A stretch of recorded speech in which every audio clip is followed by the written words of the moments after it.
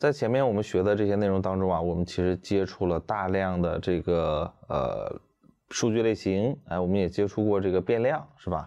但是这个变量的话呢，我们其实就牵涉到一个非常关键的问题啊，变量的命名。呃，那其实这个好的变量名字呢，一个是可以帮我们快速去理解程序，啊，另一个什么好的这个变量名字呢，也能够让你的程序更加工整。那在这一讲当中呢，我们其实就来解决一下哪些变量名是合法的，那哪些变量名呢是我们应该去进行采用的。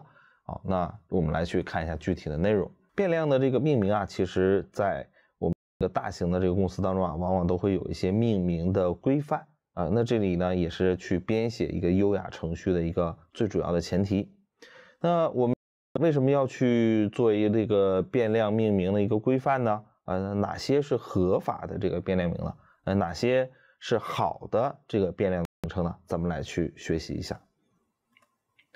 好，那我们说这个为什么要去学习变量的命名规范呢？哎，因为当你的这个代码行数增多以。后啊，这个有意义的这个变量名能够快速的帮你去理解代码逻辑。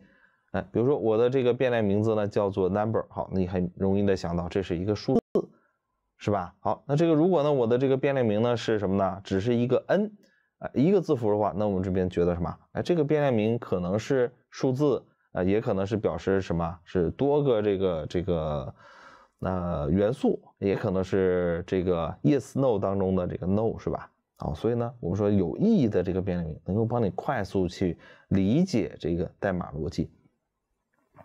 好，那除了这个有意义之外啊，我们说了，这个有很多人说了，我为了让你更好的去理解这个代码，我把变量名字起得很长，对吧？那这个可能这一个变量名啊，就能描述我们的这个整个程序它是怎么来去工作的。那这样其实也不行，啊，因为这里边不同的这个变量名字啊，哎，还可以去。帮你去区分我们的这个操作的这些类型，哎，比如说我到底是函数还是类，是吧？那规范化的这个变量名呢，其实就会有大小写的这个分隔。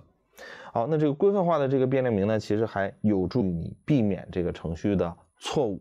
好，那我们再去使用某一个变量之前，啊，这是一边你去通过这个名称知道，比如像我们的这个 number，你一看就知道，哦，它是一个数字，是吧？好，那如果是一个数字的话，我应该去使用数学的那套。啊，内置的函数，而不应该用字符串或者其他的这个内置函数。那所以规范化变量名呢，一个是可以帮你快速理解程序，另一个呢是减少你出错的这个几率。那这个规范化的这个变量名呢，其实它有两个前提，第一个前提叫什么？叫做变量名必须是合法的。啊，第二个是什么呢？呃，除了合法的这个之外呢，我们要规避 Python 的这个内置的这些啊关键字。那这里边咱们来去看这个啊，这里边我们有一个变量名叫做 e a，好，那之前呢我没有提这个合法变量名之前，肯定有同学也这样去命名是吧？好，e a 等于一二三，那这个时候呢，我们看就出了一个什么叫语法错误。好，那语法错误是什么呢？哎，就是指向我们的这个 e a 这里。好，那这个变量名怎么非法了呢？哎，因为我们再去定义变量名的时候，它只能包括下面这三个。好，第一个就是什么？就是变量名只能包括字母、数字和下划线，并且呢，不能以数字开头。好，这个很明确是吧？那我们之前的问题，这个 e a 的问题就是什么？就是以数字开头了是吧？所以它是不合法的。那会告诉你，哎，我们的这个语法错误啊。好，那第二个是什么呢？这个变量名当中不能包含空格。哎，因为包含空格的话，我们的 Python 会认为它是两个不同的对象，所以呢，变量名当中一定不能出现空格。好，第三个是什么呢？叫做变量名之间不能使用关键字啊，这个关键字啊，就是我们的 Python 内部啊再去使用的特殊的功能啊，这些功能是不能被当做变量名来去进行使用的。好，那有哪些关键字？我在这边把它的关键字啊都给大家写出来啊，这些关键字就是不能。被用作变量名的那这些关键字当中，其实我们学过一个 in 是吧？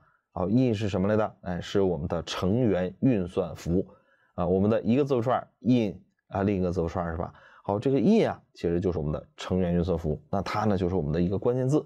你拿这个 in 作为我们的这个变量名称之后啊，那我们的这个 Python 就没有办法去识别到底是成员运算符还是一个变量了。所以在这里边的话呢，我们可以去。大概去了解一下我们的这些关键字，那后边我们全都会涉及到。好，那这些关键字是不能被作为变量名称的啊。好，那你现在去啊跟他们去混个脸熟，对吧？等到后边我们去逐渐去学习每一个关键字它对应的功能的时候，慢慢就把它给背下来了。好，那这是什么？这是从正确性上来说，是吧？好，那这边我们说还有一个好的命名习惯，不止正确啊，还有一些命名我们觉得是好的，哎，这个是适合去推广的，是吧？那第一个叫什么？叫做简短。啊，注意这边它不是短啊，而是简短。为啥不是短呢？哎，因为这边有很多人去命名的时候，就是 x 等于什么，y 等于什么，z 等于什么。啊，当你程序非常长的时候，那你有一大堆的这个 x y z 啊，我们没有办法去识别说这个 x y z 表示什么样的功能，是吧？所以是简单并且是见效的。那第二个就是什么呢？叫做描述性一定要强。哎，就是说我们命名的这个变量名，比如说 string 一、string 二、string 三，啊，三个字符串是吧？number 一、number 二、number 三，三个数字。好，那这边其实还有一个，就是当你去使用这个程序很长的时候，那我们的这个只在它的计算过程当中啊，去临时去用一个变量。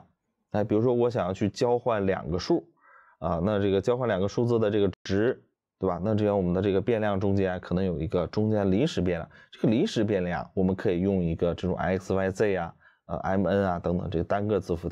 哦，那这个其实也符合我们的简短这个特性啊，就是它没有任何的意义，只是在我们的这个计算的中间过程啊，那我想让它临时存储一些东西，这时候我们尽量让它去呃用作这个短小啊这样的一个特性。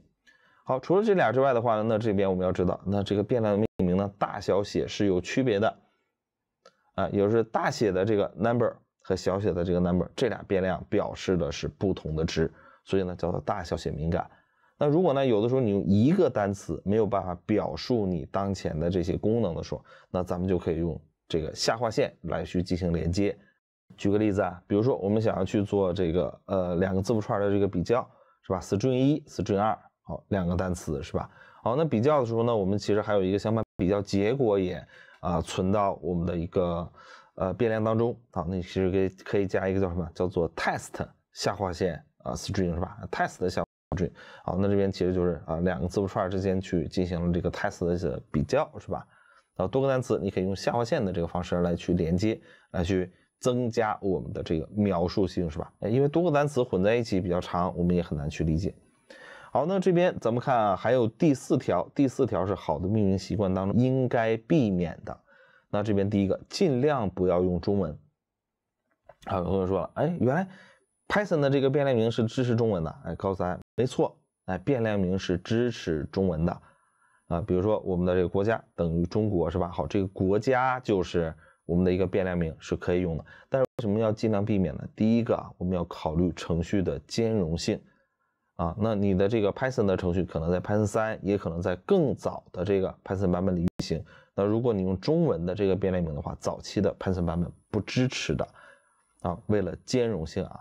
好，另一个的话呢是什么呢？我们说，当你去的时候，我们去进行这个 i 幺八 n 叫国际化这个编码的时候呢，呃，中文的这个变量名也会产生相应的问题。啊，那这时候呢，我们要尽量规避使用中文。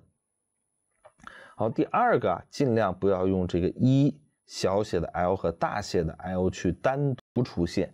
好，这边不是说我们去命名变量名的时候不用这些东西啊，而是说尽量让它啊减少它的单独出现啊。比如说我们以 l 开头的这个单词是吧，我们可以写进去没有问题。好，那这个一啊，那这个我们一般是什么呢？是尽量去规避它是吧？呃，单独出现，比如说 a 一啊，那这个 a 一这个变量名的话呢，有可能是。被别人错认为 a l 是吧？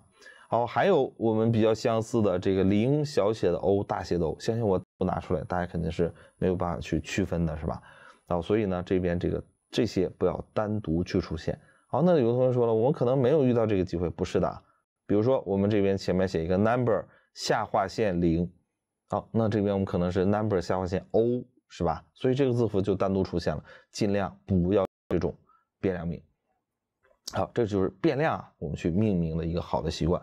那最后呢，我来去给你做一个总结啊，嗯，那对于变量名的这个命名啊，其实有好有坏，对吧？那这个变量名呢，还有什么合法和非法啊，那这边的话，首先第一个，在你去起一个变量名的时候，那第一个要符合 Python 的这个语法，要选择一个合法的变量名。那这个变量名不能是我们的关键字。那第二个呢，再去使用变量去命名的时候呢，一定要尽可能简短，并且呢语义是非常充分的，是吧？呃，我这个变量表示什么样的这个功能？好，那这里边的话呢，给大家留一个小的练习，这个练习呢就是回头检查一下我们之前。啊，所做过的这些作业和练习，那这些里边的变量有没有像我说的使用了 a b c x y z 啊 m n 等等这些单独一个字母的？那请你呢把这些变量名呢改成描述性更强的这个变量名称。好，以上呢就是我们这节的主要内容。